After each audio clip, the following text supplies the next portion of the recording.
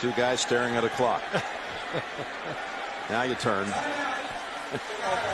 oh, man, that's an illegal shot to the face. Scott Green maybe in line for a little fine this week.